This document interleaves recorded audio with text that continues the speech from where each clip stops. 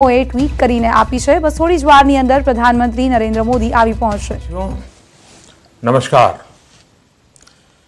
मैं आज दिन भर पंजाब में था और दिल्ली पहुंचने के बाद मेरा मन करता था कि आपसे भी कुछ संवाद करूं आज सुप्रीम कोर्ट ने एक ऐसे महत्वपूर्ण मामले पर फैसला सुनाया है, जिसके पीछे सैकड़ों वर्षों का एक दीर्घकालीन इतिहास है।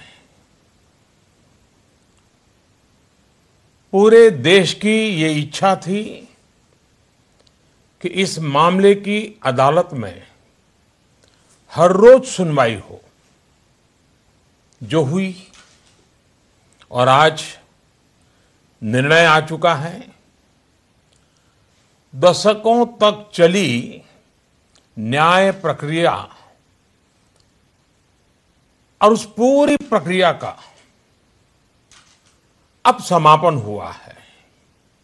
साथियों, पूरी दुनिया ये तो मानती ही है कि भारत दुनिया का सबसे बड़ा लोकतांत्रिक देश है। आज दुनिया ने ये भी जान लिया है कि भारत का लोकतंत्र कितना जीवंत है और कितना मज़बूत है। फैसला आने के बाद जिस प्रकार हर वर्ग ने, हर समुदाय ने हर पंथ के लोगों ने, पूरे देश ने खुले दिल से इसे स्वीकार किया है। वो भारत की पुरातन संस्कृति, परंपराओं और सद्भाव की भावना को प्रतिबिंबित करता है। भाई और बहनों, भारत जिसके लिए जाना जाता है,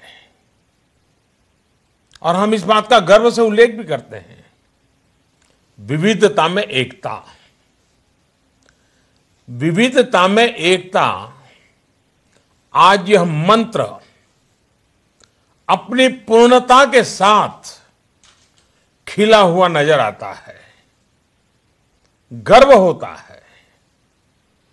हज़ारों साल बाद भी किसी को विविधता में एकता भारत के इस प्राण तत्व को समझना होगा तो वो आज के ऐतिहासिक दिन का, आज की घटना का ज़रूर उल्लेख करेगा।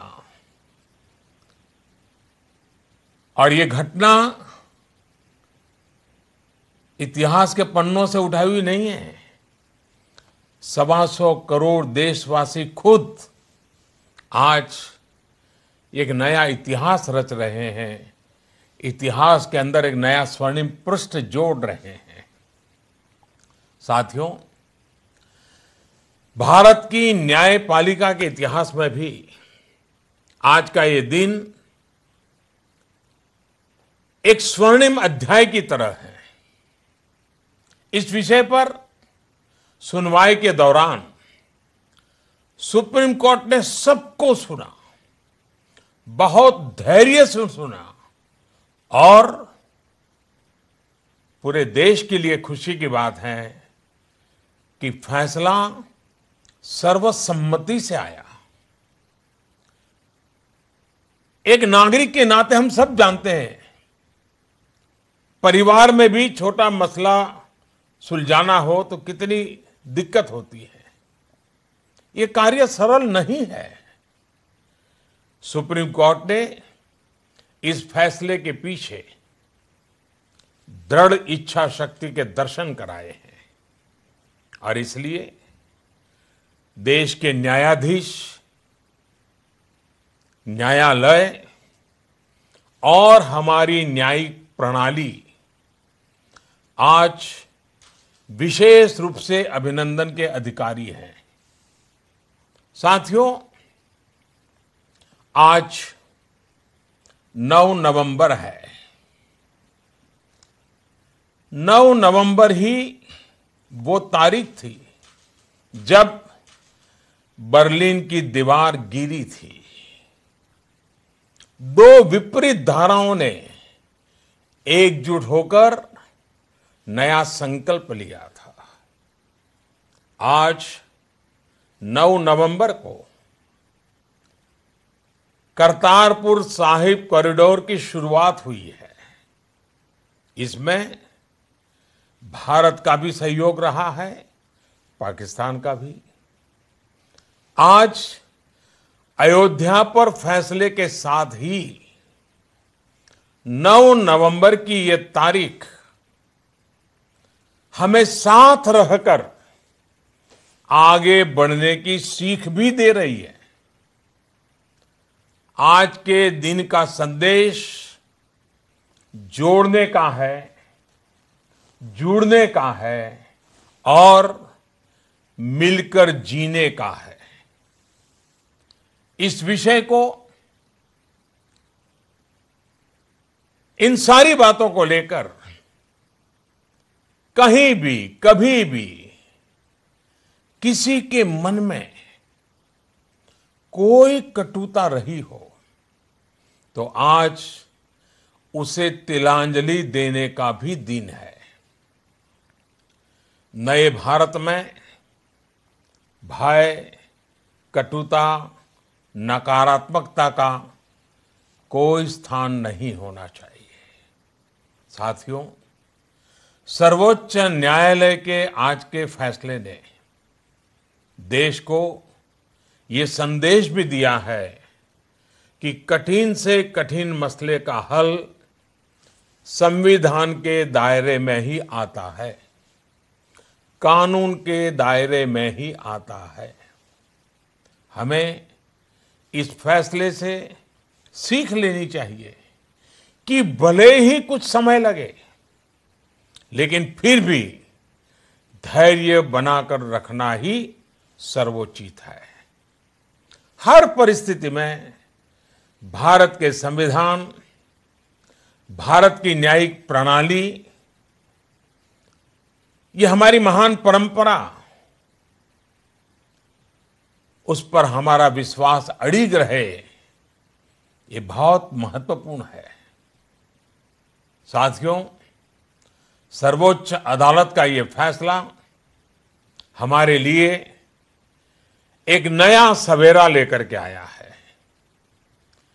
इस विवाद का भले ही कई पीढ़ियों पर असर पड़ा हो, लेकिन इस फैसले के बाद हमें यह संकल्प करना होगा कि अब नई पीढ़ी नए सरे से न्यू इंडिया के निर्माण में जुटेगी। आइए एक नई शुरुआत करते हैं। अब नए भारत का निर्माण करते हैं।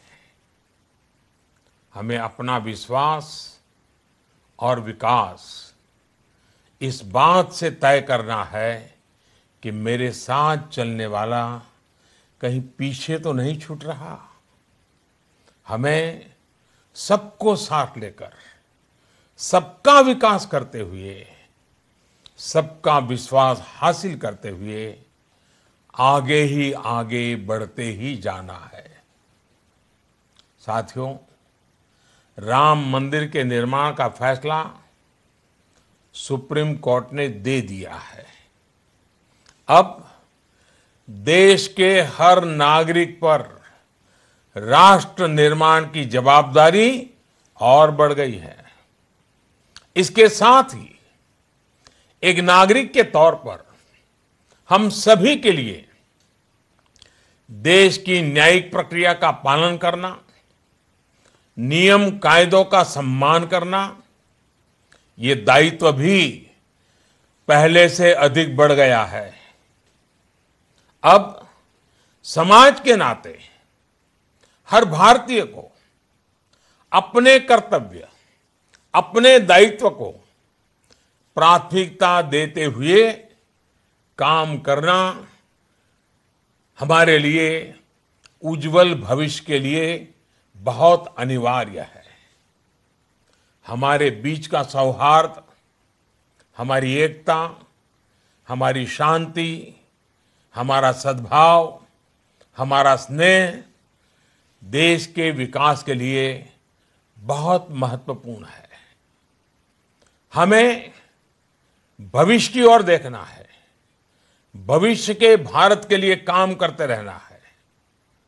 भारत के सामने चुनौतियाँ और भी हैं, लक्ष्य और भी हैं, मंजिलें और भी हैं। हर भारतीय साथ मिलकर, साथ चलकर ही इन लक्ष्यों को प्राप्त करेगा, मंजिलों तक पहुंचेगा। मैं फिर एक बार आज 9 नवंबर के इस महत्वपूर्ण दिन को याद करते हुए, आगे बढ़ने का संकल्प लेते हुए आप सबको आने वाले त्योहारों की, कल ईद का बड़ा पवित्र त्यौहार है, उसके लिए भी बहुत बहुत शुभकामनाएँ देता हूँ। धन्यवाद।